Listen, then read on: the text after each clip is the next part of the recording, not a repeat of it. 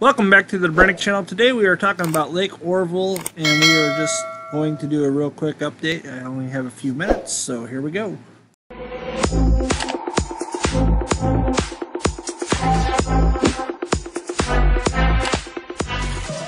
The Dobrinich channel is back and today we're talking about Lake Oroville as it's really getting hot and dry out there. One has to wonder what in the heck are they still doing down in the spillway? How long is this construction going to continue to last? It's been going on for quite a while. And to be quite frank, I mean, why do they got to be down in that spillway? One wonders.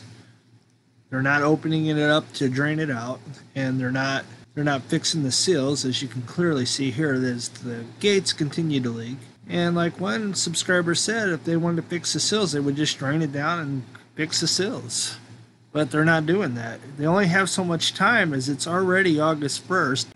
It only gives them three more months till November 1st. So they have to do something soon. The level is dropping quite nice as it is currently at 870.83 feet of 900 feet and it's 29 feet below full pool of 900 feet 901 to the top and it's dropped one foot since yesterday. Now I understand that they're dropping the lake, but I think they had to get it down below 850, so they got another 20 more foot to go. But if they're dropping it a foot a day, you're talking about the next 20 days, it could possibly happen. And I assume the majority of the water is going down the Hyatt power plant, which not all of it, because some of it's still leaking out the gates. Now, they baffle me because they want to fill it up, but yet they didn't really fill it all the way up. They filled it close to being up, but they didn't fill it all the way up.